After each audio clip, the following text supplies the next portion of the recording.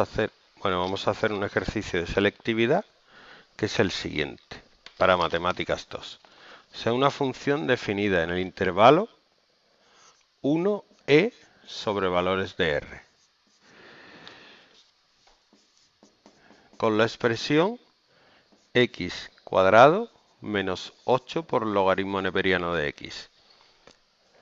Haya los intervalos de crecimiento y de crecimiento. Bueno, pues lo primero que vamos a hacer es derivar f' de x sería 2x menos 8 partido x. Una vez que hemos hecho la derivada, la igualamos a 0. Y hacemos mínimo común múltiplo x, que daría 2x cuadrado menos 8 igual a 0. Resolvemos 2x cuadrado igual a 8, x cuadrado igual a 4 y x es más 2 y menos 2. ¿Vale?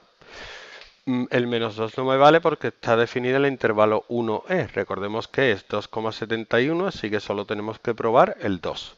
La función está definida entre 1 y e y tenemos el 2 que puede ser un máximo o un mínimo. Vamos a probar con el 1,5, sustituirlo en la derivada y por ejemplo el 2,5. Sustituimos 1,5 en la derivada, sería 2 por 1,5 menos 8 partido 1,5 queda menos 2,333 que es negativo y por tanto aquí es decreciente y en 2,5 2 por 2,5 menos 8 partido 2,5 es 1,8 que es positivo y por tanto es creciente y 2 es un mínimo. No solo nos piden la x del punto, sino también la y. Entonces sustituimos el 2 para x igual a 2. f de 2 sería 2 al cuadrado, que es 4, menos 8 por logaritmo neperiano de 2. Es menos 1,54.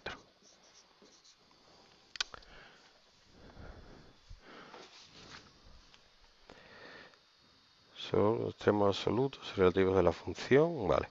Intervalos de concavidad y convexidad. Los intervalos de concavidad y convexidad se consiguen a partir de la segunda derivada. Voy a hacer la segunda derivada que sería 2 menos,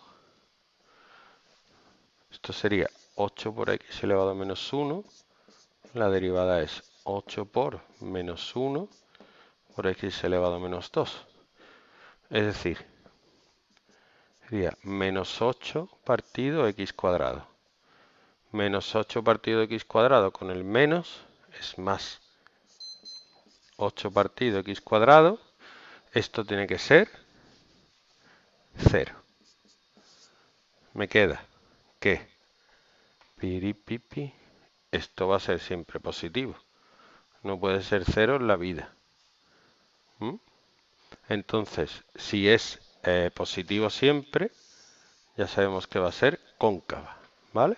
En ese intervalo. Y con esto terminamos este problema.